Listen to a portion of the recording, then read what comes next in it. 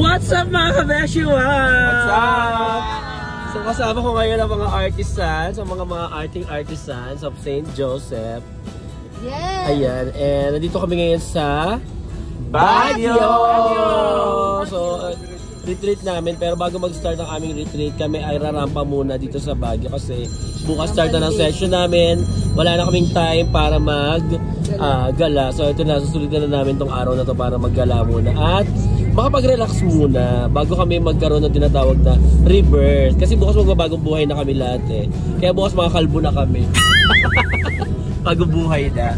Ayan, nandito si Mae, si oh. Jeffy, si Razel, si Renzo, si, si Joshua, si Malen, and ang pinakamaraming tulog, Joel. Boy! Ah, Joel Boy pa siya ngayon, pero bukas na na siya. Ayan, so abangan niyo yung mga gagawin namin. Ano, only breakfast 199.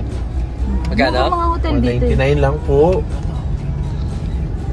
Para tayo nasa recto. Yun na naisip ko nandito. Ayan, dito na kami sa Session Road. Pero ngayon, mukhang nagmahal. Papunta tayo katedral. Very traffic talaga. Hindi kasi di ba holiday nga kasi ngayon. Long weekend. Kaya maraming utawl.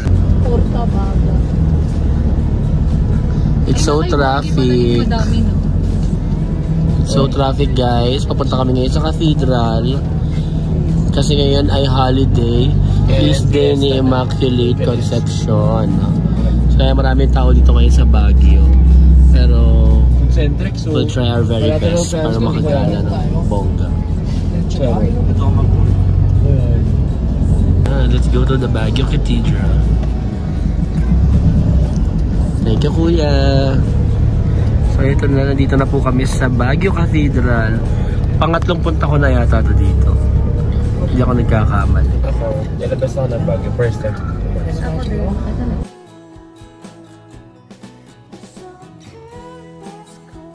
Dito na po kami sa Baguio Cathedral kasama ang mga friendly. Ang mga agi eh. Hello. Hello. Hi! Good morning. Ayan. Ayan sa Baguio Cathedral. Picture na tayo lahat kasi sila. Ayan. Sa Baguio Cathedral.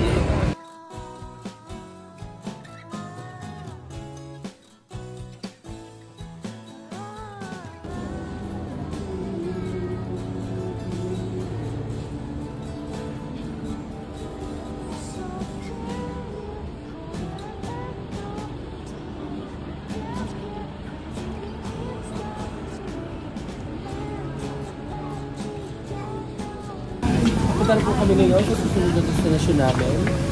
Which is ang good things. Kakain muna kami kasi nagutom kami. Nakapagdasal po kami ng very night na nakapag-group ano na rin kami, picture. So, ikutin lang namin itong Baguio lahat. Lahat to, promise. Pag hindi ah. Nag-park na kami dito kasi sobrang dami pong tao. So, samahan nyo kami. Kasama namin si Papa Jesus.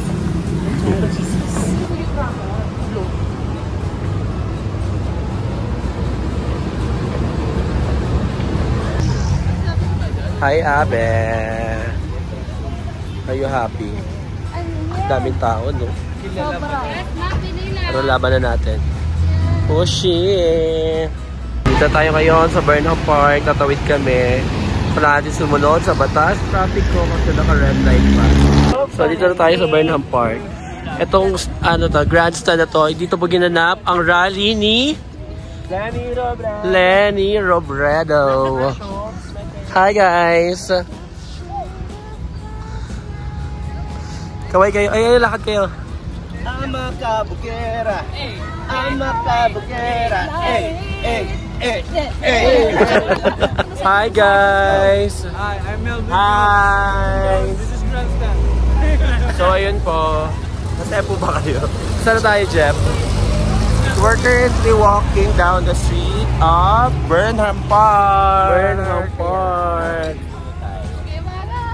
Welcome to Gimaras. Sarap. Gimaras pa din. Ano sinasabi mo? Hi guys! Dito na kami sa Bitola Good Days and finally after uh, ng napakahabang pila after ng long journey namin, finally makakain kami. Sobrang dami kumakain dito guys. So yung pila talagang ano, parang pila ng PBB, parang audition. Ilang oras kami naghintay? Minuto lang, no? Mga one hour. One hour. One hour kami naghintay. Pero hindi pa rin kami nakakapasok kasi 21 kami. Feel ko nahihirapan sila maghanap ng table. Table. Pag hindi kami pinapasok, tatanggalin ko to. Praise the Lord, nandito na kami. diba? Gutom na gutom na kasi talaga kami. So, masyado kami marami. Maghihiwalay yung aming table. Isang 10 for 10, isang for 12 pa. Yes! Nandito tayo sa Burnham Park. Ano nga tawag ito, Jeff? Man-made lake. Man-made lake. Wow. Nakapag-try ako nito once. Yan, ganyan lang. Siyempre ang mga perso, sasakay ang mga bata. Naglara, maglalaro ang mga bata.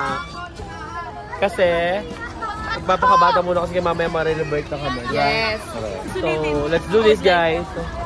Ano si Padre?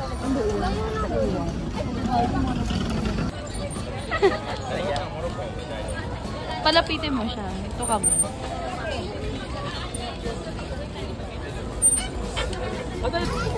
Hello mga kapamilya, kasalukuyan po na dito kami sa Baguio and tinatry namin yung go-kart pero nasa kaya namin ay ka. pedicab.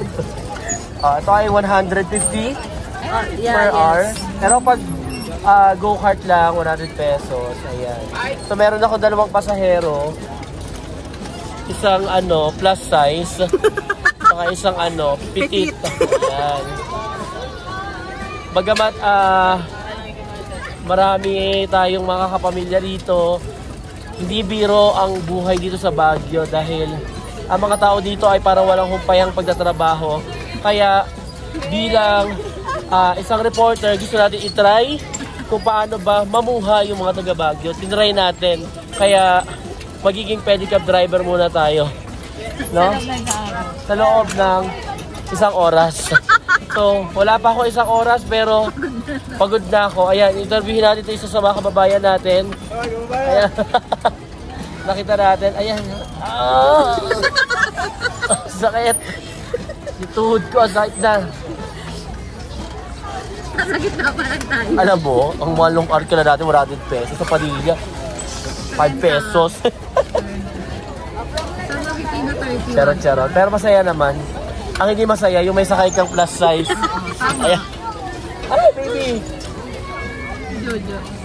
Hoy, may na kanina yung akin. Ayun, kay Jimmy pala.